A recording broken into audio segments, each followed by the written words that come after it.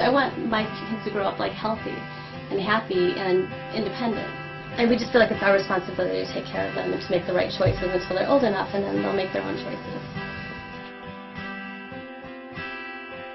I have a child who's a year and nine months. His name is Riley, and we're currently raising him vegan. You would be really surprised how many parents come in here that are raising their child either just veg or vegan. I'm doing this, this seitan marinade, and uh, I've got some collard greens, some garlic here, and we got some roasted Brussels sprouts here. Hello, my name is Michael. I've been vegan for 10 years. My partner and I, Heather, I raising four vegan children. People think sometimes that, oh, you're vegan, you know, you're not making the smart choice for your children. But really, a lot of our choices are smarter than the kids that are going to get the Happy Meals every day. When I myself um, became vegan and I felt so good during my pregnancy and then afterwards I was like, automatically I'm going to raise my children vegan. There's no other way, you know? Gail made your favorite cake.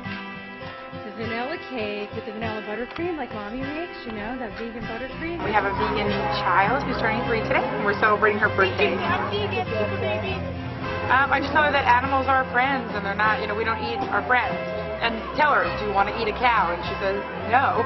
just by making it clear that the connection between food and animals. My name's Jeff Levine, and my wife is Melissa. We've been together 16 years now and had our first child, Eliana, two and a half years ago. And we've been raising her vegan. We opened up this restaurant, one, to get this type of food out to the public. Opportunity came up, and we were just like, let's do it. Being a vegan mom is easy. It gets a lot harder when the kids get in school and they're in a regular school and almost all the kids are eating the American diet. Most kids today eat 90% of the caloric intake from cheese and butter, dairy products, oil, sugar, and flat white flour. That's 90% of the caloric intake. So the average American is feeding their child a diet style that has to result in them getting, getting cancer when they're adults. I feel that by raising my children vegan, I'm giving them, they're, they're eating much more vegetables and fruits than their meat-eating counterparts. It, it's good for their body, it's going to help them more in the long run. Your diet has to be predominantly healthy food if you expect to be healthy. And both processed foods and animal products do not contain the antioxidant nutrients. In other words, the four classifications of foods that are rich in antioxidants and phytochemicals are fresh fruits, vegetables, nuts and seeds, and beans. I do recommend my patients with heart disease become vegans. Not because I'm promoting a vegan lifestyle, it's because I'm promoting they eat a diet to reverse their heart disease. My definition of being vegan would be absolutely no animal products. So she doesn't drink, you know, the milk with a cow on it. She understands that, like, even with milk, that you know, cow's milk is for baby cows.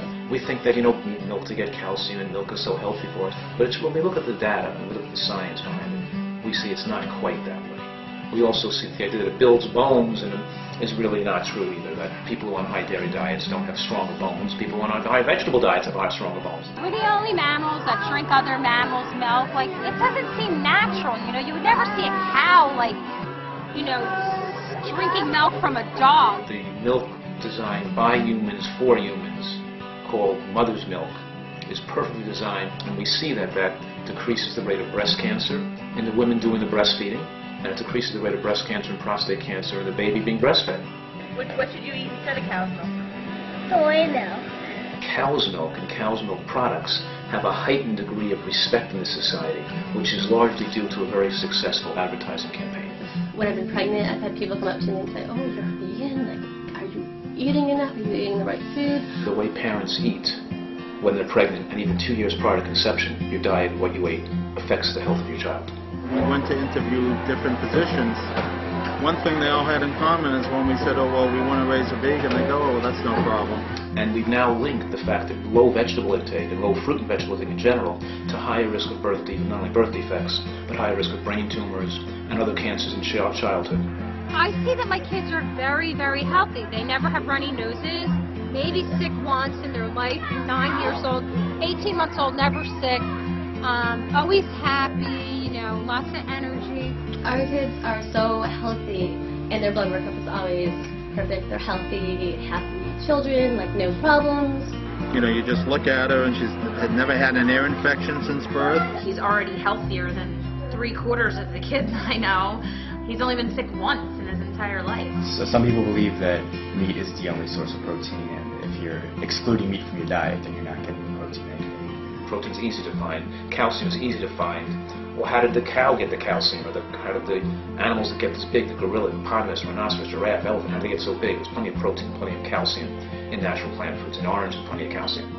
Green vegetables are rich in calcium. Beans and nuts and seeds are all rich in calcium. The main misconception is that vegetarian or vegan children are somehow missing out on on fun or coolness. Yeah, there's just a misconception in general that vegans don't have fun. Like vegans don't enjoy their food. They just eat because they have to eat, and it's not pleasurable in any way. My son eats anything. Mashed potatoes, baked potatoes, any kind of potatoes, My favorite food is mango. Mango. collard greens, Brussels sprouts, artichokes, Veggie burgers. Vegetarian shrimp and chicken. vegan grilled cheese sandwiches. Vegan pancakes, French toast. I mean, it's the same things other kids eat, just veganized. I don't eat animals, and animals are my friends. We just ordered the pizza without cheese and bought our own cake, and you know we want her to live a normal life but be vegan, so she doesn't feel like she's being excluded from anything. When my son finally starts going to school, that's something I fear. I fear him being ostracized. I fear the whole cupcake for the birthday scenario. When they start school, we always write a letter to the teacher, and then we schedule a meeting with the teacher, and we explain that, you know, this is this is their diet. I'm really trying to be vegan, but it's really hard. Why is it hard? because every time I have a party at my school, I want it.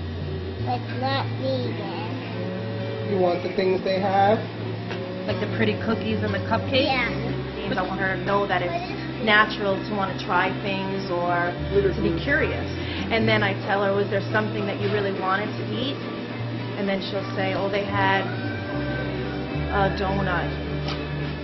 So I'll try to hunt down a vegan donut. If they do have like a party or celebrate some kind of um, holiday, we find out what they have in the menu. And Michael's a really, really good cook, so usually like the stuff that he brings in is usually pretty much more popular than the other stuff.